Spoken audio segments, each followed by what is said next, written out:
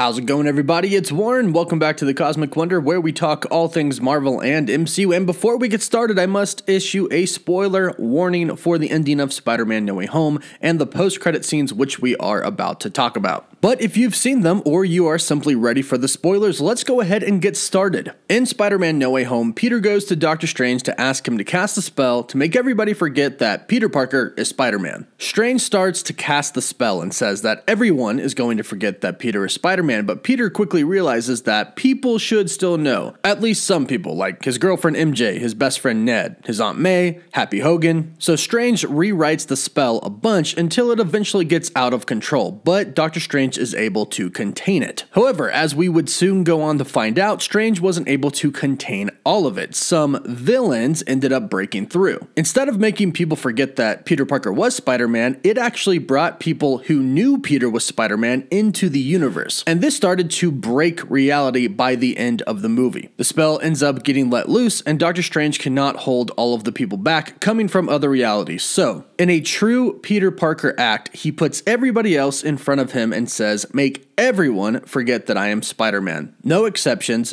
everyone. Strange casts the spell and it seemingly works. By the end of the movie, nobody remembers that Peter Parker is Spider Man. In fact, it seems like nobody really remembers Peter at all, which I'll talk about in a different video. But it looks like this does not come without consequences to Doctor Strange, as the second post credit scene for Spider Man No Way Home is a trailer for Doctor Strange in the Multiverse of Madness. And it looks to be one of the best trailers that I've ever seen from Marvel Studios. But first, let's talk about that first Venom post credit scene. Now, the Venom Let There Be Carnage post credit scene brought Venom and Eddie Brock into the MCU, and I know what some people might be thinking how did they get brought in by Doctor Strange's spell if Eddie Brock didn't know who Spider Man was, let alone that Peter Parker was Spider Man? Well, keep in mind that Venom did say that he had billions of years of hive knowledge, so I'm willing to bet that it was actually Venom who knew that Peter Parker was Spider Man and not Eddie Brock. In fact, it looked like Eddie Brock didn't even know who Spider Man was at all. So I'll credit Venom with knowing who Peter Parker was. However, this moment is short lived as when Doctor Strange does the spell that makes everybody forget that Peter Parker is Spider Man, sending them back to their own universes, we see Eddie and Venom go back. However, a part of the Venom symbiote does stay behind, which means eventually this is going to go on to bond with Spider Man, aka Peter Parker, and it looks like we may get a more comic accurate Venom story in the MCU at some point in time. And that's pretty much the gist of the first post credit scene. There is a Venom symbiote inside of the Marvel Cinematic Universe now without Eddie Brock and the actual Venom that we've seen in the Sony universe, setting a path for a different new Venom to appear in the Marvel Cinematic Universe. And the next post credit scene, like I said, is a trailer for Doctor Strange 2, Doctor Strange in the Multiverse of Madness. Now, the second post credit scene slash trailer starts off with a black screen. We hear ominous music playing in the background, and then we hear Wong. We hear him say, Don't cast that spell, it's too dangerous. Now, we didn't actually hear Wong say this in the actual movie, but we did hear him say it in one of the trailers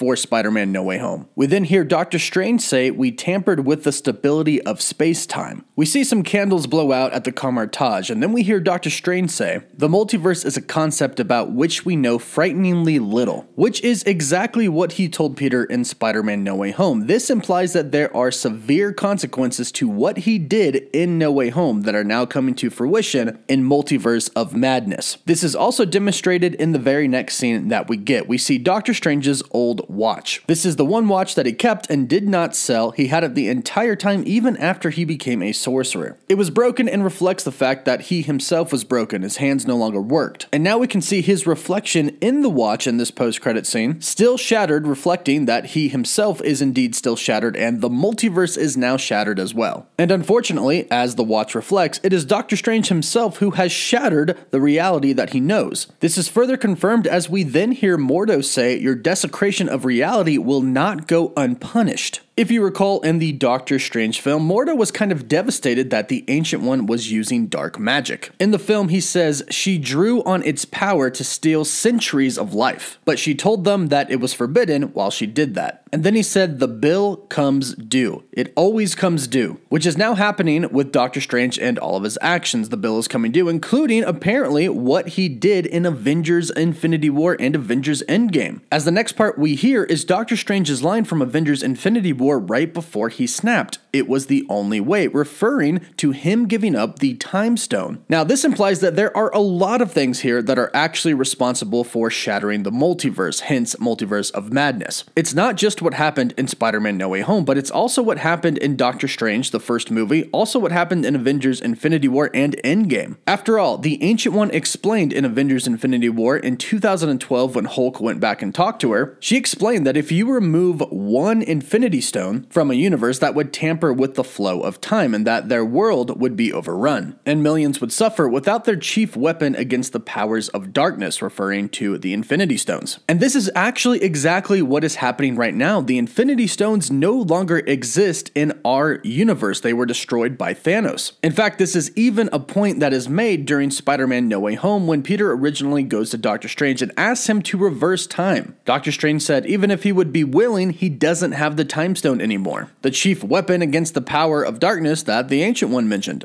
We see Doctor Strange go through a gate in which New York seems to be kind of falling apart. This actually looks like exactly what we saw in the What If episode where Doctor Strange and Strange Supreme were in. What If episode 4. Doctor Strange bypassed an absolute point in time. This affected the universe and essentially made it start going away. And eventually, that universe did completely go away. It sort of dissipated into nothingness, which seems to be what is happening right here. Now, as far as absolute points in time are concerned, Doctor Strange could have actually bypassed several of them possibly affecting infinite amounts of different universes. He gave up the Time Stone, which the Ancient One did call their chief weapon, and even though Infinity War and Endgame made it seem like it was supposed to happen, perhaps there are some big consequences that follow up with that. Plus, not to mention, his spell did cause the Sinister Five to come into Spider Man No Way Home and the main MCU timeline. Doc Ock, Green Goblin, Electro, Sandman, and the Lizard all have very different fates now when they go back to their own universes. They were all supposed to die or get locked up in a prison. However, they are now cured and they are back in their original universes. Their fates have drastically changed, not to mention the fates of their Spider-Mans have changed as well. For example, when Norman Osborn goes back, he's no longer going to be the Green Goblin. This will cause Harry to no longer turn into Goblin and die. This will have huge implications on Tobey Maguire's Spider-Man. And that's just one case. Alfred Molina is going to go back and his Doc Ock is not going to die as well. The repercussions of what happened in Spider-Man No Way Home are going to be huge, and this is why Doctor Strange is going to have to pay for them. He could have broken multiple absolute points in time, causing not only his universe, but possibly infinite amounts of universes to start to collapse. But then a lot happens in this trailer. We see Doctor Strange enter a very dark sanctum, one that is flooded with water. We hear him say the words, But I never meant for any of this to happen. He is clearly talking to somebody that is accusing him of being responsible for all of this. The fabric of reality essentially melting. Now, he could be talking to Wong, he could be talking to Mordo, or he could be talking to somebody else. There's rumors that the Illuminati could show up in Multiverse of Madness, and it's possible that they kind of govern the multiverse and they could be super pissed at him. We see a shot of Wanda's hand using some chaos magic. Then we see Dr. Christine Palmer walking down the aisle, and get this Stephen Strange, Doctor Strange, is not waiting for her, he is actually in the pew. The look on her face as she walks down makes it seem like she might have a little bit regret of what she's about to do, not marrying Stephen Strange. And Strange doesn't look too happy as well, but at the end of the Doctor Strange film, they kind of left their own separate ways as friends. We then see a woman from behind wearing a star on the back of her jacket. This is America Chavez played by Xochitl Gomez, who I actually met and had the pleasure to talk to for a little bit at the Shang-Chi and the Legend of the Ten Rings premiere. Now, her powers are that she's able to open up star portals to different dimensions. So, this is kind of a perfect movie for her to enter here, one where the multiverse is in madness, and it looks like Doctor Strange is going to try and fix it.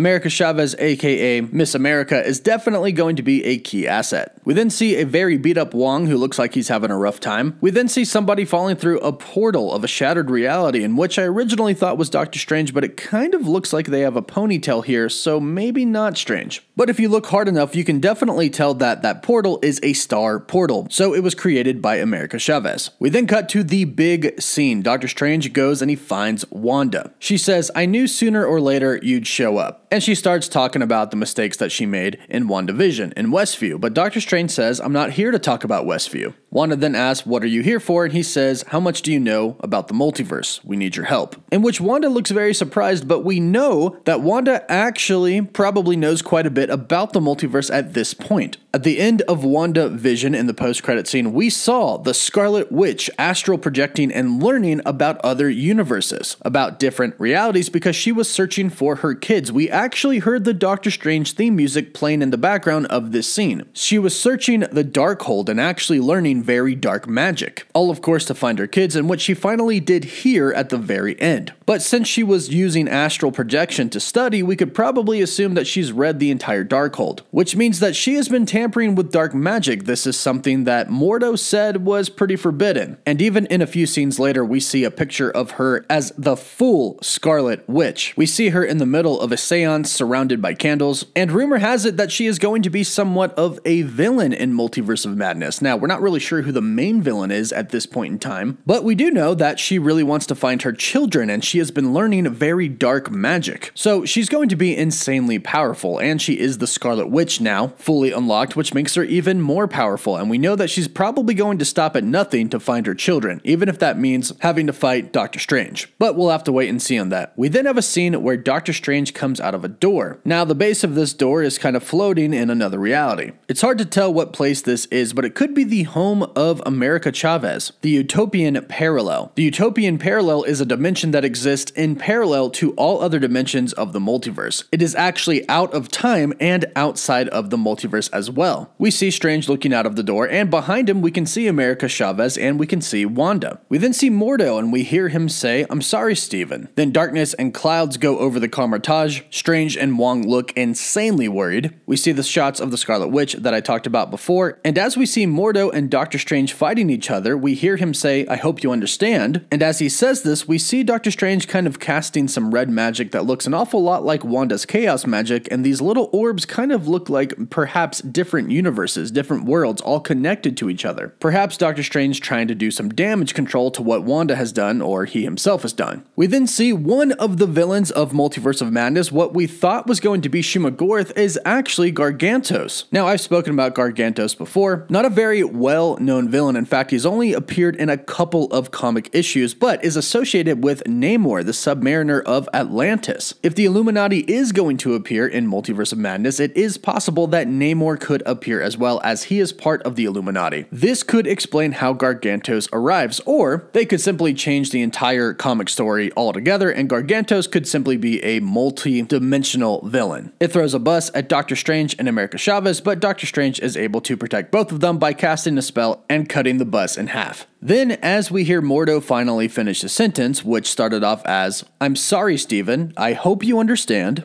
the greatest threat to our universe is you. And as he says this, we see an alternate sanctum, which I'm assuming exists in another universe or perhaps in between universes. In the background, it looks like this could be some type of void. I'm actually getting a lot of Loki vibes here when they finally run into He Who Remains. But here we meet another Doctor Strange, which could be Strange Supreme. We were introduced to Strange Supreme in What If Episode 4, and also in the finale as well. It is possible that What If could connect to the live action films. However, I'm probably going to say that this is just a different variant of Doctor Strange, which I think we might see a few of these in the movie. This one does seem to be a lot darker and could be a lot more evil. We could probably assume that if Doctor Strange is at the heart of the multiverse breaking, it's not just one Doctor Strange, but multiple ones, and we can assume that there are going to be some evil ones. And the trailer ends with this strange saying, Things just got out of hand. And I don't know about you all, but I am super excited for this movie. Doctor Strange in the Multiverse of Madness looks like it's going to be phenomenal. So let me know all your thoughts and theories about this in the comments down below. Don't forget to subscribe if you love Marvel and the MCU and want more content. Don't forget to like the video, and for live updates, you can follow me on Instagram and Twitter. As always, thank you all so much for watching.